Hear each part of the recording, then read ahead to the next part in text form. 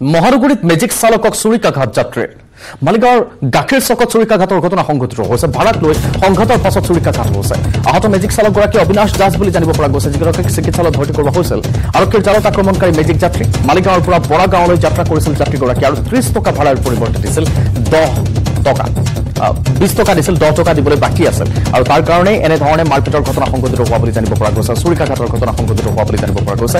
মহানগৰীতে এনেধৰণৰ ঘটনা সংঘটিত হৈছে মালিগাঁৱৰ গাখীৰ চকত চুৰিকাঘাতৰ ঘটনা সংঘটিত হৈছে। আহত মেজিক চালকগৰাকী অবিনাশ দাস বুলি জানিব পৰা গৈছে আৰু মেজিক যাত্ৰী যিগৰাকীয়ে চুৰিকাঘাত কৰিছে তেখেতক ইতিমধ্যে কৰায়ত্ব কৰা হৈছে। দুইজন পেচেঞ্জাৰ আহিছিলে মালিগাঁৱৰ পৰা গাড়ীচকলৈ দুইজনৰ ত্ৰিছ টকা ভাড়া হয়।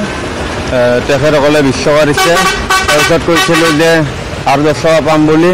তাৰপিছত আৰু কি লাগে সেনেকৈ ক'লে। তাৰপিছত আন নিদিয়ে। সেনেকৈ তৰ্ক বিতৰ্ক হৈছে। হোৱাৰ পিছত আৰু হঠাতে চুৰি লৈ কেনে মোৰ পিছফালে মাৰি দিছে।